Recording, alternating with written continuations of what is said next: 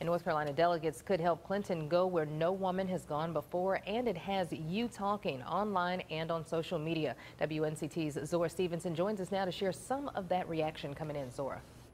If Clinton officially clinches the nomination, she'll be the first woman to represent a major party as a presidential candidate. And one local woman says this milestone is about more than just politics. I'm just moved by the fact that a woman has the option. Hillary Clinton is confident she'll represent the Democratic Party in this year's presidential election. The first time in our nation's history that a woman will be a major party's nominee.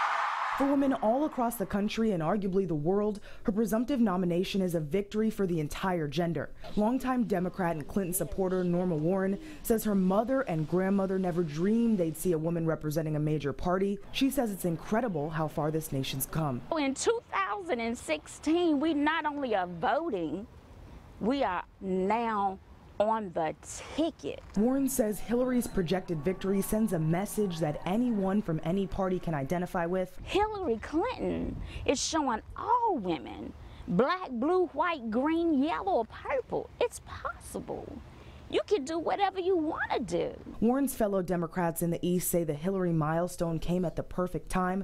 The party can now look at the bigger picture. The Democratic Party can focus on winning in November, which is important all the way up and down the ballot, uh, and getting away from the idea of fighting. Bernie Sanders supporters say they won't see Clinton as the nominee until the convention in July. One volunteer says Sanders' efforts go past this election. To me, this is more than a campaign. This is the birth of a movement, and I will remain part of that movement. As for Warren, she says no matter what side you're on, we all have to recognize one thing. It's history. And whether you like Hillary or whether you don't like Hillary, it's history. And you have to give her respect for that.